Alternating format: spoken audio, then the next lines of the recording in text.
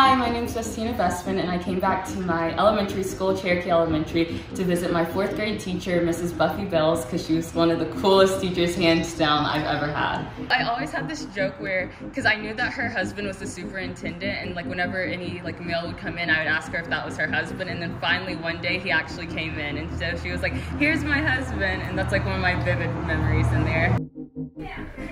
Look you! Heaven sakes!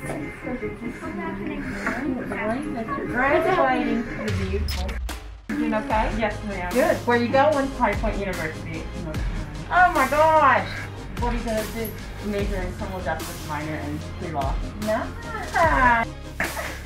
Imagine. That's wonderful. She was wonderful. Good student. Oh my god. And you look so pretty. Oh, well. Thanks. My gosh. What are you going to do after that? Are you going to become a lawyer? Yes, ma'am. Oh! Guys? what grade were you in when I had you? Fourth. Fourth grade. She was in fourth grade.